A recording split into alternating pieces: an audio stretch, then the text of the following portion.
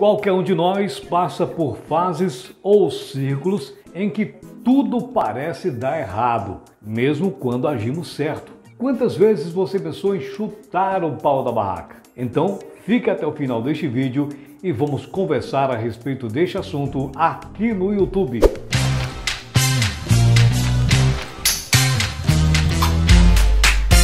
Olá, sou Marcelo Toller, é um prazer estar com você aqui.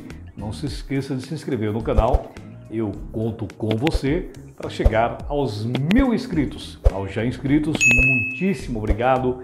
E se você ainda não conheceu, conheça a nossa aba Comunidade aqui no canal.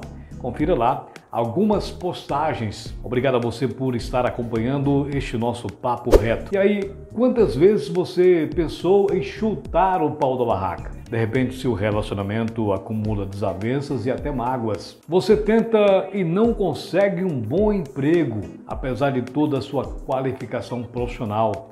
O seu trabalho não te satisfaz, os seus amigos começam a lhe causar muita decepção. Você que há algum tempo vem estudando em cursinhos e não consegue passar em um concurso, mesmo estudando com muito afinco. São tantas situações de perdas e frustrações como essas. Naturalmente vem a dúvida: será que nada disso somará a algo a quem eu sou? Minha amiga e meu amigo, mesmo diante das diversidades da vida, não podemos aceitar quieto os insucessos de baixar a cabeça para eles, precisamos fazer sim uma reflexão, buscar entender o que ocasionou cada um dos problemas e reagir. Se você for aquela pessoa que sempre aceita as coisas como são e não faz nenhum esforço para dar a volta por cima e melhorar a situação, sabe o que isso significa? Você não quer ter progresso. Você não entendeu nada que os erros nos ensinam e ensina muita coisa, tanto na questão individual como na coletiva. É não aceitar as limitações do presente, os não da nossa vida. Você precisa ter convicção de que desistir não é uma opção, mesmo quando a vida parece oferecer apenas caos e sofrimentos. Quando tudo parecer difícil, você precisa sair do comodismo e se empenhar mais ainda para ir além se reerguer a cada tombo, superando adversidades e extraindo da experiência algo muito melhor. Pode ter certeza, cada novo dia é uma grande oportunidade para aprender com os erros e de erro em erro vamos nos fortalecendo e renovando nossos planos e seguindo com confiança, com mais experiência e assim vamos desejando conquistar o que sempre almejamos Quero fazer uma analogia extraída da obra de Eckhart Tolle, autor do best-seller O Poder do Agora. Nessa analogia, imagine você andando por uma estrada à noite, com uma neblina cerrada, mas possui uma lanterna potente que corta a neblina e cria um espaço estreito e nítido na sua frente.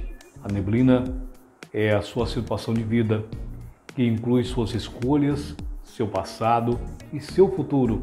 A lanterna é a sua presença consciente. O espaço nítido é o agora. A depender da consciência e da força interior que você tem, será maior ou menor a intensidade da luz da lanterna, que cortará a névoa e mostrará o tipo de futuro que lhe é reservado.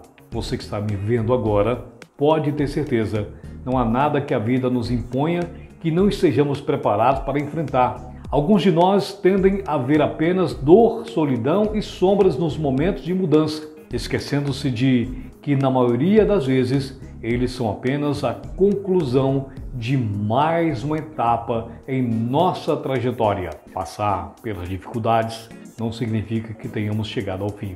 Significa somente que iniciamos o próximo círculo, mas é normal nos esquecermos de tudo que fizemos. É normal odiarmos tudo de ruim que eventualmente esteja acontecendo conosco. É normal procurarmos algo ou alguém para culpar. E é normal porque isso faz doer menos. Apenas procure notar que enquanto um dedo aponta numa direção, os outros apontam na outra.